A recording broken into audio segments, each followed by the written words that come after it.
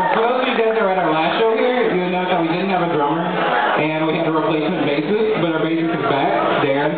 So I want everybody on the count of three to say, welcome back, Darren, as loud as you can. One, two, three.